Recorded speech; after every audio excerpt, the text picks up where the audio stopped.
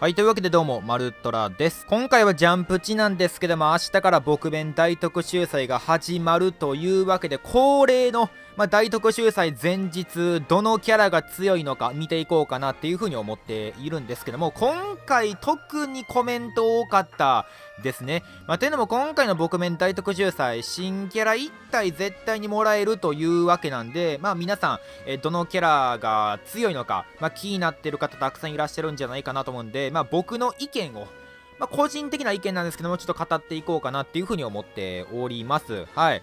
えー、とまず今回の新キャラ、えー、この5人、えー、小南先輩、えー、真冬先生、ウルカ、尾形、古橋なんですけども、あのもう先に言っておくと全員めちゃめちゃ強いんですよね。はい、どれとってもまあ、あの全然いいんじゃないかなと思うから、まあ、見た目で決めんのも推しで決めんのも全然いいんじゃないかなと僕は、えー、思いますね。こんなに普通のガチャキャラが強い大特集祭は初めてなんじゃないかっていうぐらいほんまに全員外れではないし、まあ、むしろ当たりなんでまあまあっていう感じではあんねんけど、まあ、性能で選んだらどれがいいかっていうのはえっとまず初心者の皆さんこの僕弁から始める皆さんや最近始めた皆さんはね、もう2人、どっちかからぜひとも選んでほしいなというキャラがいまして、えーと、それが、えー、この尾形、リズ、もしくは、えー、この古橋文野、えこの2人からぜひとも選んでほしいなと僕は思いますね。まあその理由としては、え両方とも必殺で回復なんですよ。えー、このジャンプ値というゲームは、まあ、他のゲームと比べて火力でゴリ押しすることが絶対に不可能なんですよね。パーティーに1人1体絶対に回復キャラクター、ヒーラーがいいひんかったら勝てることはできません。はい。なので、あの、まず、回復キャラを全属性集めるところから、まあ、初心者の方は始めていただけたらいいんじゃないかなと、えー、思いますね。まあ、その中でも今回、えー、回復できるキャラクター3、あの、2キャラクター、まあ、尾形。この尾形に関しては、えー、赤属性で、え一番強いヒーラーですね。必殺で回復しながら、えパーティーの、え火力の底上げしつつ、緑プチを虹に変換という盤面の整地も行ってくれるという3種の神器。これはもう赤属性最強のヒーラーと言っても過言ではないと、え僕は思っておりますね。僕もね、あの赤属性で回復めっちゃ持ってるんですけども、まあでも、これからはもう、尾形一強になるんじゃないかなっていうぐらいマジで強いですね。はい。これおすすめ。うーん、で、もう一人、えー、古橋。この古橋に関しても、えー、回復なんですけども、必殺で、えー、回復しながら、レジェンドゲージアップしながら、緑属性のダメージ軽減というわけで、これもね、緑属性で最強のヒーラーになるんじゃないかな。今までは東條さんという、もうただただ回復バチクソというキャラクターがいたんですけども、まあ、この古橋に関してはレジェンドゲージもアップするし、そんでもってダメージ軽減もするしという、えー、めちゃめちゃ強いえー、回復キャラになっておりますので、まあ、この2人から取りに行くことを僕はお勧めしたいなと思いますね。まあ、どっちかっつったら、えー、古橋の方がおすすめですかね。まあ、あの、もし緑属性の回復キャラクターがボックスにいるならば、尾形を取りに行くことをおすすめしたいねんけど、あの、両方持っていない、もしくは赤属性の回復は持っているという方に関しても、絶対に古橋を、えー、引きに行くことをおすすめですね。まあ、その理由としては、えー、古橋、友情技もめちゃめちゃ優秀なんですよね。え、この尾形に関しては、あの、赤属性最強のヒーラーなんですけども、友情技がちょっと、あの、微妙。というか、やっぱり赤属性のメインキャラでは輝くんですけども、他の属性、青属性でパーティー組む場合とかで友情技にぶち込むことがあんましできないちょっとね、あのメイン以外の汎用性があんまりないというところで、あのメイン特化的な感じなんですよね。なんですけども、えー、この古橋に関しては友情技もめっちゃ使えるという汎用性バカ高いという状況なので、まあ、あの、オールラウンダー的な感じでメインでも使えるし、友情技でも使えるという感じにはなっておりますね。まあ、今回の5人、あの、古橋をね、もう優先的に取りに行く人が多いんじゃないかなと、ガチ勢初心者関係なくという、えそんな感じのガチ勢にも好まれる性能にはなってるんじゃないかなと僕は思いますね。まあ、初心者の方にはこの古橋もしくは尾形が、えー、おすすめなんですけども、まあ、中級者とか、まあ、その辺になっ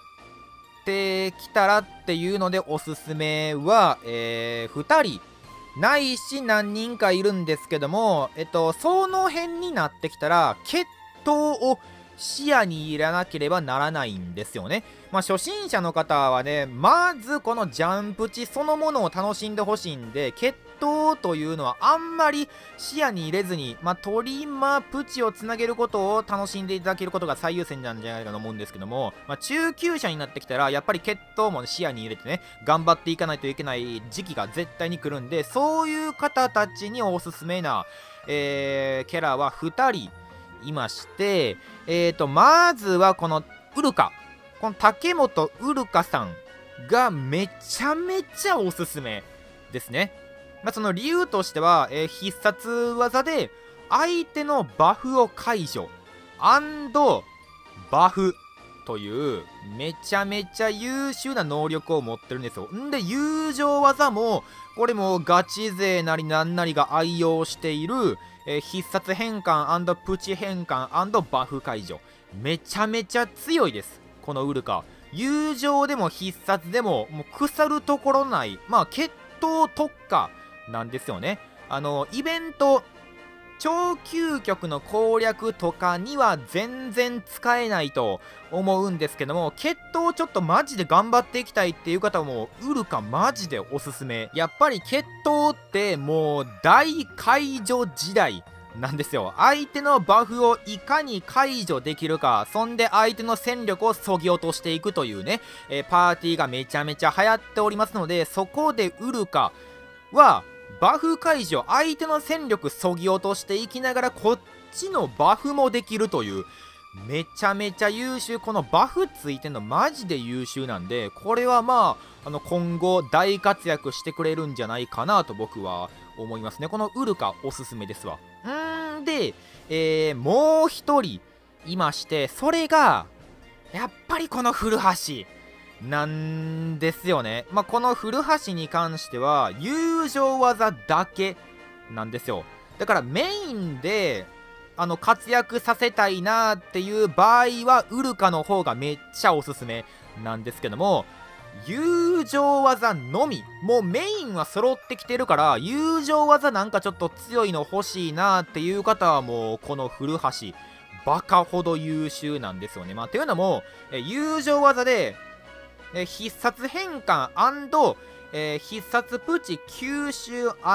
バフ、えー、来ました。前々からやってる方にはわかるでしょう。この友情技は、えー、魚雷ガールですね。その魚雷ガールの、まあ言うたら、介護官にはなってしまうんですけども、えー、似たような性能ですね。魚雷ガールに関しては感電短縮と竜巻短縮がついているので圧倒的にそっちの方が強いことはまああれなんですけどもでも、えー、性能は似たような感じ。バフつくんで魚雷ガール持ってへん人はもうこの古橋一択なんじゃないかなと思いますね。魚雷ガールね決闘で持ってるか持ってへんかでマジで全然違うんですよね。4枠目にぶち込んで一番最後全部必殺吸収回収していきながらルンバ発動してバフ。この吸収力さすがダイソンなんですよね。しかもこの文野さんに関しては回復力アップもついてるんで今後もう絶対に流行るであろう回復タイプパーティーのその希望の光となっているんでもう100%この先重宝される、えー、友情技にはなっているんですよね。ガチ勢の人はね、この古橋一択っていう人いるんじゃないかな。それぐらいもう今後愛されに愛されるキャラなんじゃないかなと、えー、思いますね。はい。あとの2人。